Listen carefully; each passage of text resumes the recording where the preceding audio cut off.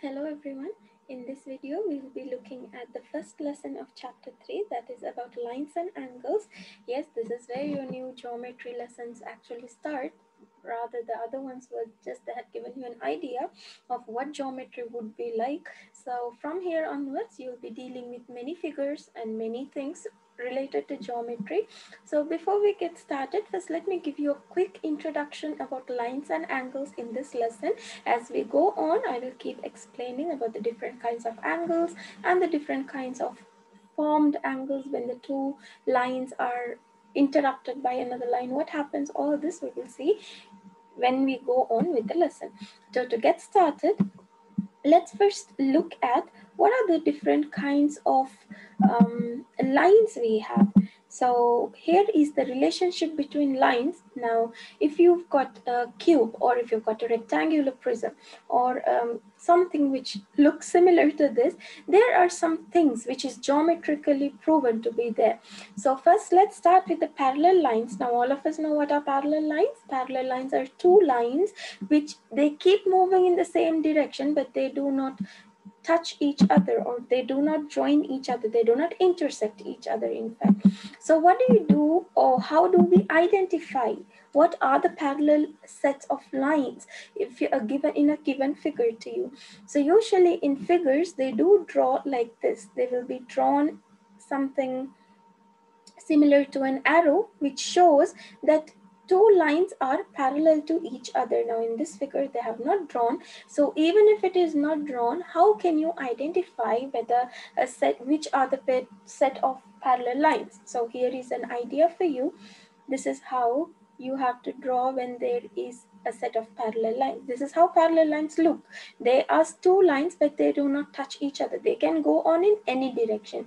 Not necessarily they need to be straight. They can even go sideways, but then they will not touch each other. So parallel lines are the two lines that are coplanar. Coplanar means on the same plane, but they do not intersect. So from this figure, we could say that line DC is parallel to AB because that's how you identify parallel lines. They should be lines that are straight, but they do not intersect. So how do you write this in symbolic form of like geometry? We say line CD or DC, totally up to you. We can write lines in any way. Parallel, this is the symbol we use for parallel to BA. This is how we write it. Now, is that only this figure has CD and BA as parallel lines? No, there are many sets of parallel lines in this figure. So we could even say AD is parallel to BC. We can also say CG is parallel to BF. We can say CB is parallel to GF. So the way, as I already told you, there are many sets of parallel lines. We can even say DC is parallel to HG. So it's how you observe the figure. You have to observe the figure very carefully and then find out a set of parallel lines. Mostly it will be marked for you like this. If it's not marked, you can mark it and see whether they are parallel or not. Or, or overwriting would also help you. Overwriting over this would uh, overdrawing in fact over the lines would also help you identify about the parallel lines. So now let's see what are skew lines. Now skew lines are also a kind of lines, but let's see what's special between them. So skew lines are two lines that are not coplanar and they do not intersect, which means skew lines are again two lines but the speciality of them is they do not intersect, they do not join in any way. And also they are on two different planes. So this is how skew lines look like. One of the skew, one of the line will be in one plane and another one will be on completely another plane. So let's try to figure out from this figure how are skew lines and what do they look like. So for example, take AD. So AD line is on this plane, right? 8 on plane A, B, C, D.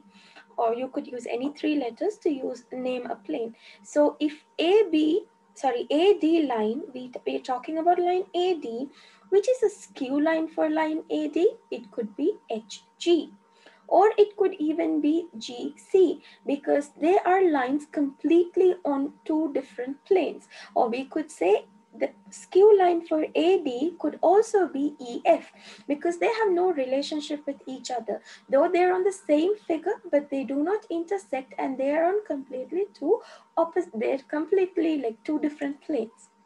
So these are skew lines. They are two lines, but they do not have any relationship between each other. The next is a set of parallel perpendicular lines. Now perpendicular lines are again special lines because they always intersect to form 90 degree angles, which are right angles. Now perpendicular lines will usually be shown in this way. You can see these are the marks for right angles.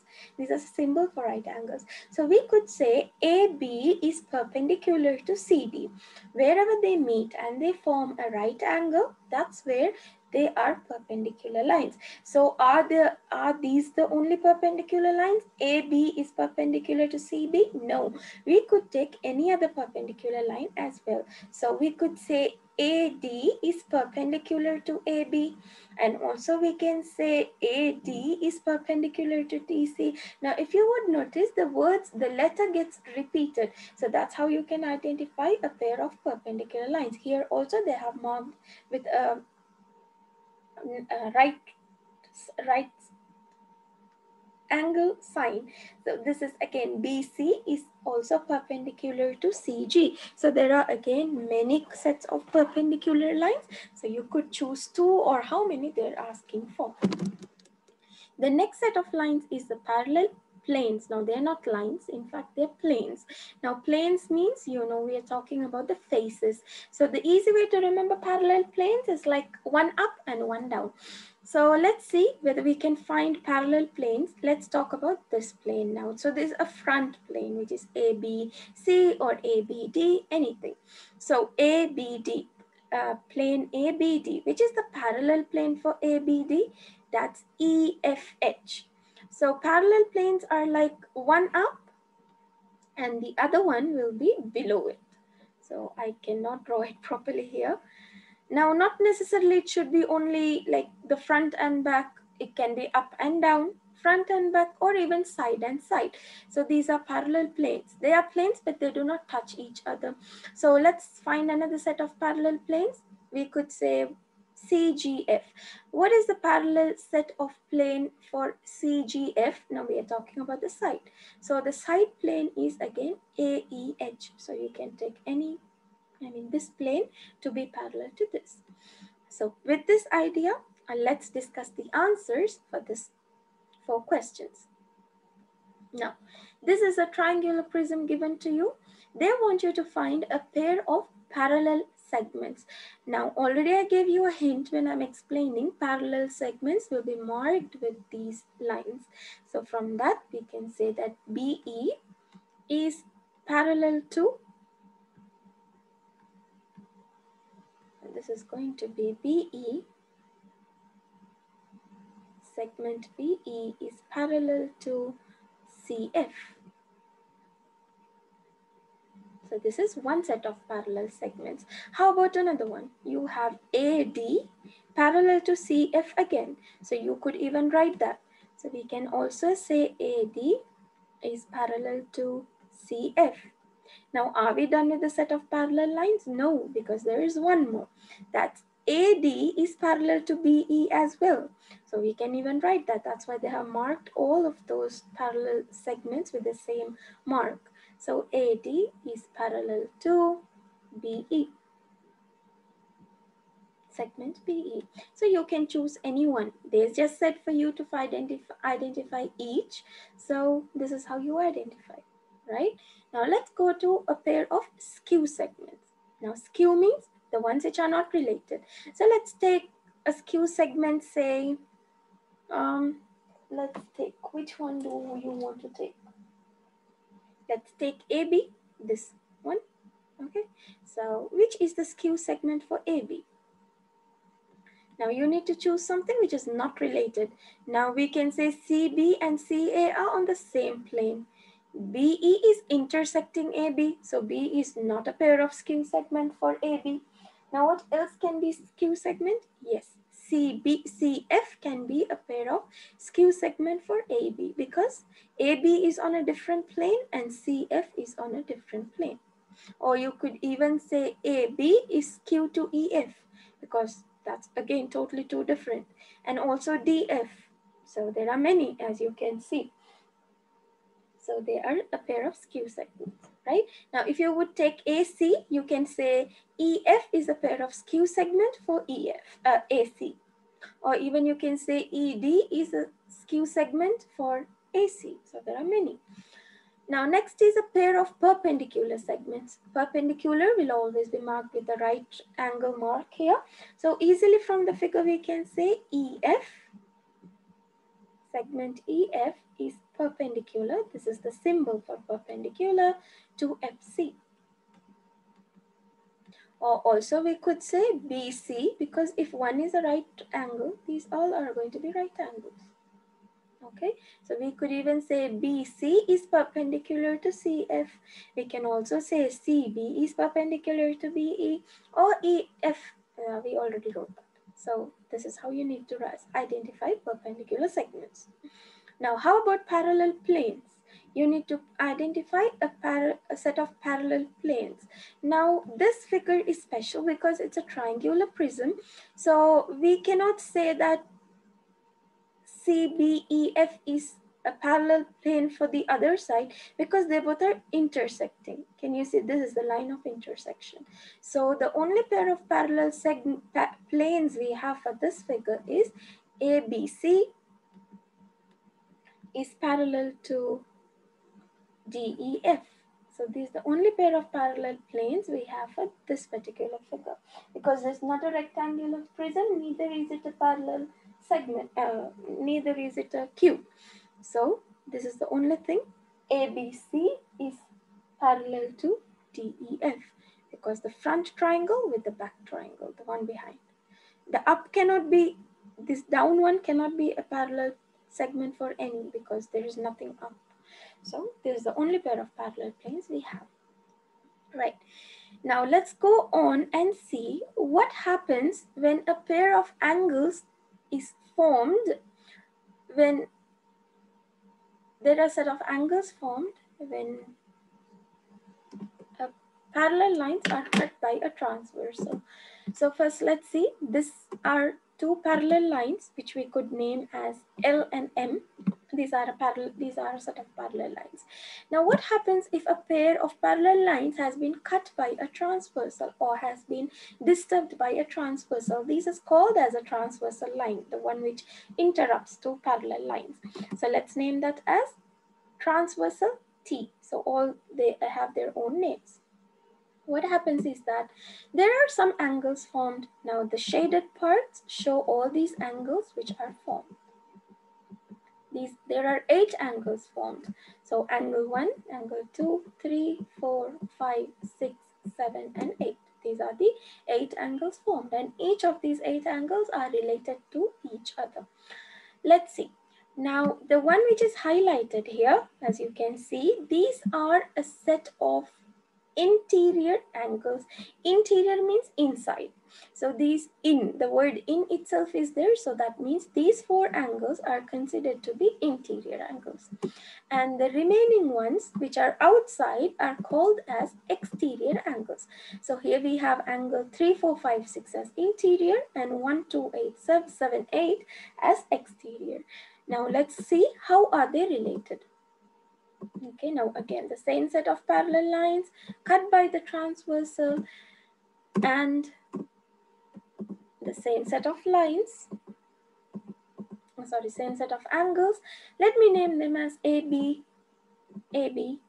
Now, why am I naming them as AB, AB? You can see the similar angles are marked with the same color and also the same letters. So this is just to avoid your confusion. So if you name this as A, you name the other one as B. And then the other one as A because two B's cannot be together. So AB, you name it in this way, right? So we have alternate, A, B, A, B. We have alternatives. Now, why did I ask you to mark them like this? Because that will make it easier for us to identify the set of angles. Now, already you have an idea what are interior angles and what are exterior angles, right? Now, let's see How are they related? Let's talk about alternate interior angles. Now interior means we are only talking about these angles. Alternate means opposite. So which are the two opposite angles which are inside? We have 4 and 6. 4 and 6 are opposite and they are inter in, inside. So we call them as alternate interior angles. Similarly, angle 3 and 5 are also inside and they are also alternate interior angles. Now, if you notice the color, both of them have same colors. This is brown, this is brown, this is yellow, this is yellow, which means the measures of both these angles are equal, which is if angle 3 is 80, so angle 5 is also 80 degrees. If angle 4 is 120 degrees, angle 6 is also 120 degrees. That's how they are related. So alternate interior angles are equal. Now let's see what are the exterior angles, alternate exterior. So exterior means outside. So we can say angle 1 and angle 7 are opposites which means they are alternate exterior angles and also angle 2 and angle 8 which are also alternate exterior angles. Now again notice the colors among them. They are equal. So which means angle 1 is equal to angle 7 angle 2 is congruent to angle 8 which means they will have the same measures let me give you a quick hint here. All the same colored angles have the same measures. So angle 1 will be equal to angle 3. Angle 5 will be equal to angle 7. Angle 2 will be equal to angle 5. Angle 6 will be equal to angle 8, which are called as vertically opposite angles. Angle 1 and 3 are called as vertically opposite angles because they're vertical. They're in the shape of a V can you see that they're in the shape of V and they are opposite to each other. So they are called as vertically opposite angles. So what are same-sided interior angles? Same-sided interior angles are the angles in the shape of a U or rather they're in the shape of a bucket. They're like the angles inside the bucket. So angle 4 and 5 are on the same side and they are interior. So alternate uh, same-sided interior angles are angle 4 and 5 and 3 and 6. What's special about same-sided interior angles? When you add angle 4 and angle 5, that should give you 180 degrees. Similarly, if you add angle 3 and angle 6, that should give you 180 as well. So now the other one we have is corresponding angles. Corresponding angles are the angles like uh, one and then you alternate it. Leave the ang next angle and come back to this angle. So angle 1 and 5 are corresponding angles. So what is the corresponding angle for angle 2? This is angle 2. Leave one angle, the other one. So angle 2 and 6 are corresponding which is the corresponding angle for angle 4. This is angle 4. Leave one angle, the other one. So angle 4 and 8 are corresponding. Again, this uh, connection between both of them is they all are equal. Angle 4 is equal to angle 8. So if angle 4 is 100 degrees, angle 8 is going to be 100 degrees as well. This is how the angles are related. So keeping these, I know it's a bit longer because this lesson has all the, of those inside. So yes, it does take time. So let's go ahead and keep that, all the things that you learned now and try to solve these questions. So in exercise 5 to 10, give one example from each of the figures. So they just asked you to give one example. So a transversal, which is the transversal line Transversal is the line which cuts through the parallel lines. So that's line Z. So a transversal is line Z. How about parallel lines? Which are the two parallel lines we have in this figure? X and Y because they are the two parallel lines. So line X and Y. How about corresponding angles? Now, just now I told you what are corresponding angles. Corresponding angles, now let's find the corresponding angle for angle 1. So for corresponding angle, you leave one, then you move to the other one. So angle 1 and 3 are corresponding. Now are they the only corresponding angles we have? No. We have 2 and 4. So 2 and 4 are also a pair of corresponding angles. And how about another two angles? Angle 8 and angle 6 are also corresponding. Angle 7 and angle 5 are also corresponding. So these are all sets of corresponding angles. You can write any one. How about alternate interior angles? Now interior means inside. So we are talking about these angles. So which are the alternate interior angles? Angle 2 and angle 6 because they are alternative.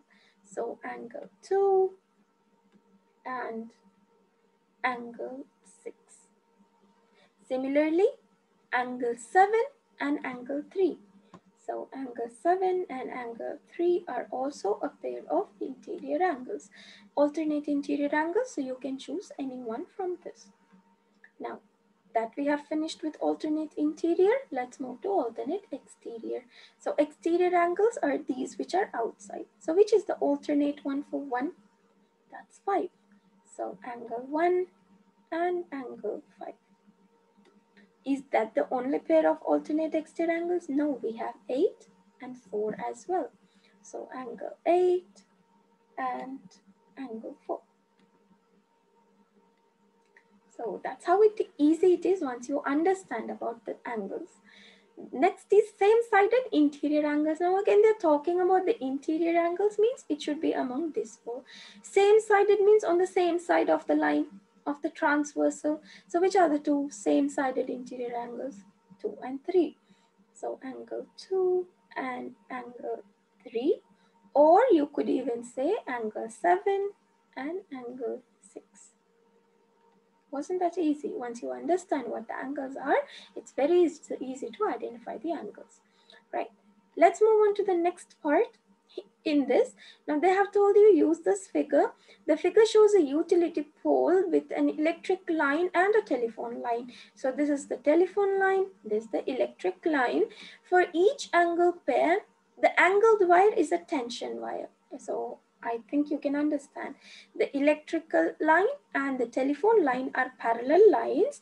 This tension wire is the, what is that called? Is the transversal. So for each angle pair given, identify the transversal and classify the angle pair, right? So let's see, how about angle 5 and 6? They want you to identify angle 5 and 6.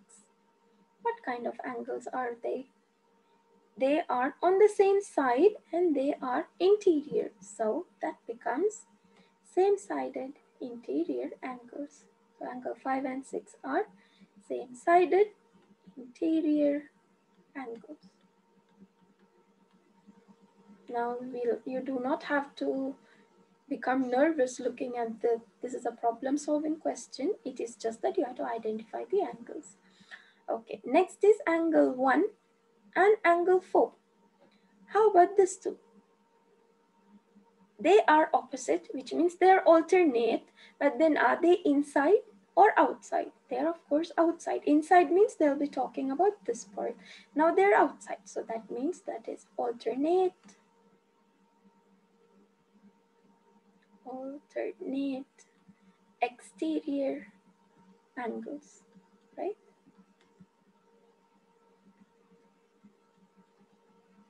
So the next one is about angle 1 and angle 2.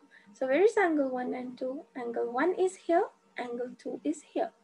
So they're on the same side again, but then not together. They are like one after the other. So which angles did we learn about one after the other on the same side? They were the, what kind of angles? Hope you remember. That is the corresponding angles. So angle 1 and 2 are the corresponding angles. And next is angle 5 and angle 3. So angle 5 and angle 3. So they're talking about the interior angles. Now they're opposite to each other. That makes it more easy for us. That is alternate interior angles. Now, are we done with the question? Not yet, because we just identified the angles. They said for each pair of given angle pair given, identify the transversal. So we are going to identify the transversal for each of this. So for angle 5 and 6, which is the transversal? Is it the utility pole or the tension wire? Now this is, they're talking about angle 5 and 6. So which is the transversal? That's the utility pole. So you need to write the transversal as utility pole. How about angle 1 and 4? Which is the transversal for angle 1 and 4? Angle 1 and 4. Which is the transversal? The tension wire. So you just need to write the transversal is the tension wire. Now just to identify it, let's write this here, transversal. Because if not, anyone will be confused what's this alternate exterior angles and tension wire. Okay, so the transversal is tension wire. So how about angle 1 and 2? Which is going to be the transversal for angle 1 and 2? For this, which is the transversal. This is the telephone line, right? But, so, the transversal for this is going to be the telephone line.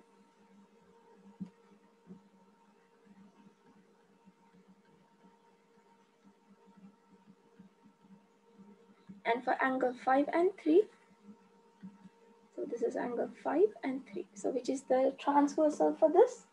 The transversal for this is again the utility pole because this is the parallel and this is the transversal so that's going to be the utility pole again